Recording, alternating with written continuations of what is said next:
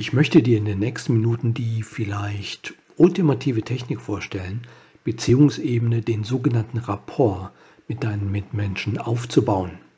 Und dies weg von manipulativen Methoden, die manchmal gerne da draußen geschult werden.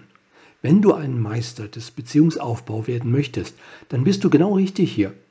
Du lernst jetzt das GEFA-Konzept kennen.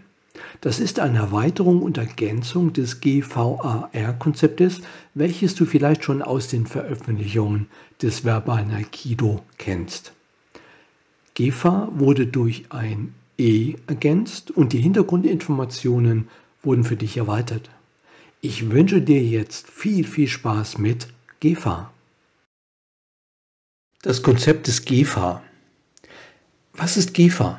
GIFA ist ein aus den Anfangsbuchstaben mehrerer Wörter gebildetes Kurzwort, anders ausgedrückt ein Akronym. Die Wörter, die hinter diesem Akronym stehen, sind folgende. G steht für gehört, E steht für ehrlich, V steht für verstanden, A für akzeptiert und R für respektiert. Das GV-Konzept ist vielleicht einer der wichtigsten Strategien, mit anderen Menschen eine Beziehungsebene bzw. den sogenannten Rapport aufzubauen. Wenn wir mal unser Umfeld anschauen, dann ist der Beziehungsaufbau für den einen eine schwierige Sache und vielleicht für die andere eine leichte. Warum ist es scheinbar für einige Menschen ein leichtes Unterfangen, mit anderen Menschen eine Beziehungsebene aufzubauen? Warum finden einige Kinder schneller Freunde als andere? Und warum sind uns manche Menschen spontan sympathischer als andere? Je mehr man sich mit diesen Fragestellungen beschäftigt, je faszinierender wird es, diesem Thema auf den Grund zu gehen. Viele Bücher existieren da draußen, die durchaus zielführende Tipps zur Herstellung der Beziehungsebene liefern. Der eine oder andere kennt sicherlich die Technik des Spiegeln aus der Welt des NLP. Für meine Begriffe beinhalten einige Ratgeber über den Beziehungsaufbau eine gute Dosis an Manipulationstechniken. Ich möchte gern einen anderen Weg gehen und komme damit zu einer wichtigen Fragestellung. Was könnte ein Kern der Technik des Beziehungsaufbaus sein, der abseits von manipulativen Einflussfaktoren funktioniert? Ich denke, dass wir uns mit dem GEFA-Konzept diesem wertschätzenden Kern nähern. Lass mich die vier Wörter des GEFA-Konzeptes quasi als Essenz vieler Veröffentlichungen zu dem Thema verwenden. Ich persönlich bin der Meinung, dass dieses Konzept ein Geheimnis des ultimativen Beziehungsaufbaus darstellt. Okay, schauen wir uns mal im Einzelnen an, was die Buchstaben, was die Begriffe bedeuten.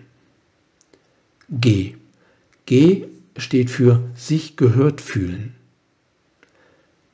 Ist es dir schon einmal passiert, dass dir ein Mensch folgende Sätze entgegengeworfen hat?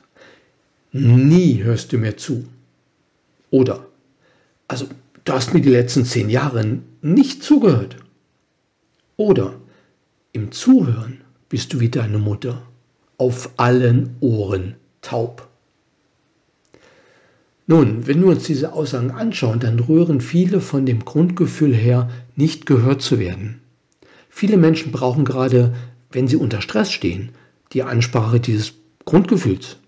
Gehört fühlt sich mein Gesprächspartner bzw. meine Gesprächspartnerin, wenn ich das Gefühl vermittle, dass jetzt im Moment nur der Gesprächspartner wichtig ist und damit alle anderen Dinge völlig zweitrangig sind.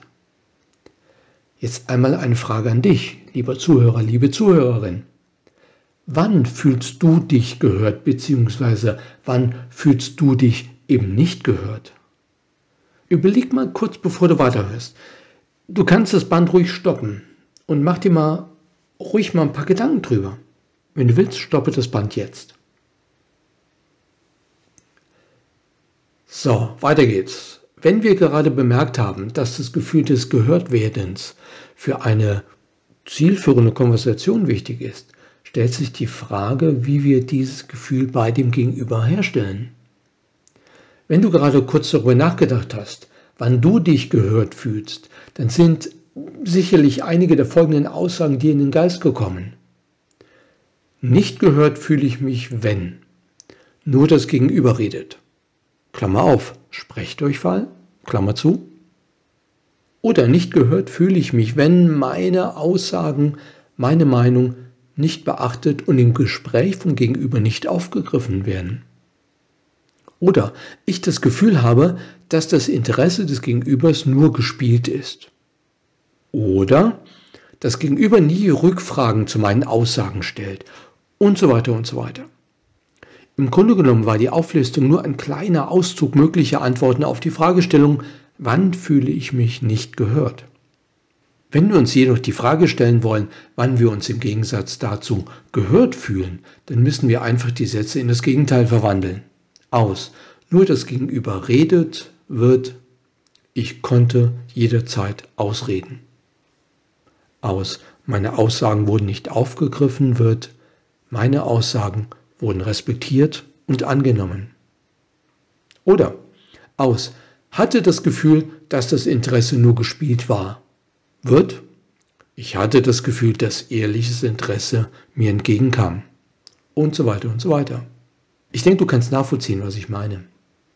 Okay, das zum ersten Begriff. G, sich gehört fühlen. Kommen wir zu dem zweiten Begriff. E steht für Ehrlichkeit. Mal eine ganz ketzerische Frage. Wenn Menschen lang und breit mit dir reden und du ihren Ausführungen zuhörst, Tust du dies in der Regel mit ehrlichem Interesse? Reflektier auch da mal kurz drüber. Also ich bin der Meinung, dass es fast unmöglich ist, eine ehrliche und funktionierende Beziehungsebene aufzubauen, wenn man selbst dabei unehrlich ist. Ich möchte sogar noch einen Schritt weiter gehen. Unehrlichkeit bzw. Unaufrichtigkeit ist vielleicht das abstoßendste Verhalten, das ich einer anderen Person gegenüber an den Tag legen kann. Wir Menschen lieben Ehrlichkeit und Aufrichtigkeit. Das Ganze geht sogar so weit, dass mir ein Mensch, der aufrichtig und ehrlich zu mir sagt, ich bin oder ich war ein Dieb, ein Betrüger, ein Taugenichts etc. etc. mir sogar noch sympathisch erscheinen kann.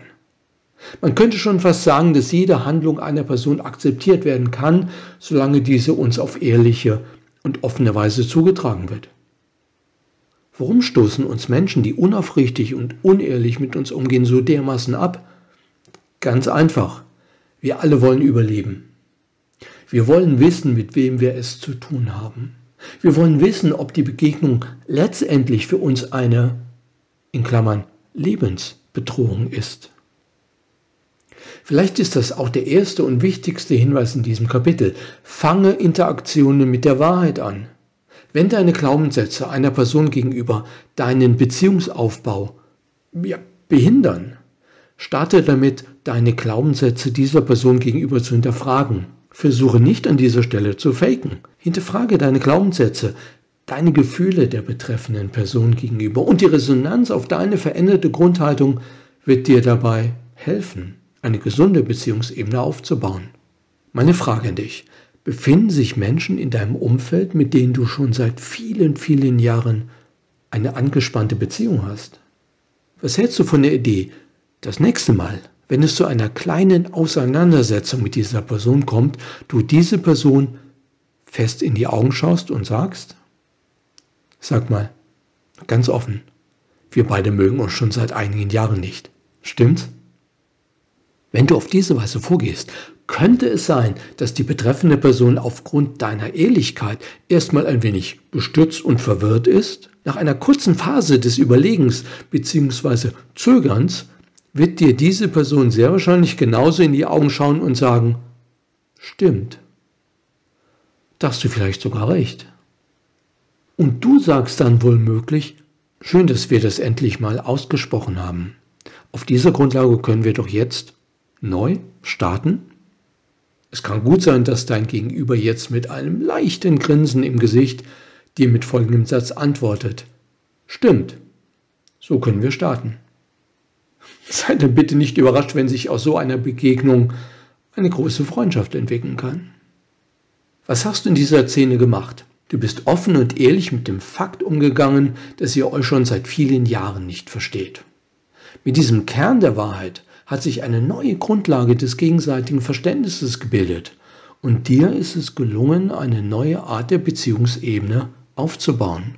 Verbunden mit dem Begriff der Ehrlichkeit sind zwei weitere Begriffe. Das sind Authentizität, ich weiß, schweres Wort, und Verwundbarkeit. In dem vorangegangenen Beispiel, in dem du offen und ehrlich angesprochen hast, dass ihr euch schon seit Jahren nicht mögen würdet, hast du ein Stück weit deine Deckung fallen lassen. Du hast dich damit auch verwundbar gemacht. Auf jeden Fall hast du authentisch gehandelt und endlich, Fragezeichen, das angesprochen, was wohl beide Parteien schon lange sowieso gewusst haben. Ich mag den oder die nicht. Das Thema der Ehrlichkeit möchte ich noch mit einem weiteren Begriff verbinden. Und zwar das ist der Begriff des Interesse. Jetzt mal ehrlich, wie oft faken wir unser Interesse, nur um mit dieser Handlung unsere eigenen Interessen nachhaltig zu verfolgen? Wir manipulieren mit dem gefakten Interesse. Wenn du das so machen willst, mach es. Also ich möchte dir an dieser Stelle neue Grundsätze anbieten. Schau doch mal, ob du dich mit diesen Grundsätzen vereinbaren kannst. Habe ehrliches Interesse an der Sache, die dir entgegengebracht wird ehrliches Interesse an der Person, mit der du gerade interagierst, habe ehrliches Interesse an den Bedürfnissen, Meinungen und Beweggründen deines Gesprächspartners bzw. deiner Gesprächspartnerin. In vielen Verkaufsbüchern lesen wir die Empfehlung, dass der Verkäufer im Rahmen seines Verkaufsgespräches sogenannte Informationsfragen stellen soll. Der Hintergrund dieser Fragen sind auf der strategischen Ebene zu suchen. Wir wollen Gründe herausfinden, warum der Kunde oder die Kundin kaufen könnte. Wir wollen herausfinden, wie wir am schnellsten Umsatz machen. Wir versuchen, den Kunden für unser Vorhaben zu qualifizieren. Im Grunde genommen steht unser eigenes Interesse im Fokus. Können wir hier von einem echten Austausch zweier Menschenseelen sprechen? Oder ist der Vorgang dann doch eher ein gegenseitiger Austausch im Sinne von, ich gebe dir das und du gibst mir das? Um ehrliche Beziehungsebene aufzubauen, brauche ich ehrliches Interesse an dem Gegenüber und nicht nur ein Interesse an den Dingen, die für mich drin sind. Bedenken wir bitte. Der wertvolle Gegenstand ist nicht das, was wir aus dieser Beziehung herausholen, sondern das Wertvolle ist die Beziehung selbst. Wenn es, es uns gelingt, dieses ehrliche Interesse rüberzubringen, ein Interesse ohne Eigennutz, passiert etwas ganz, ganz Spannendes. Uns gegenüber öffnen sich diese Personen und sie folgen uns.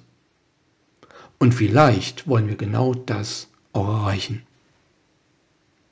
So, das waren die ersten beiden Punkte. Jetzt machen wir eine kurze Pause und ich komme zurück mit den restlichen Punkten. Okay?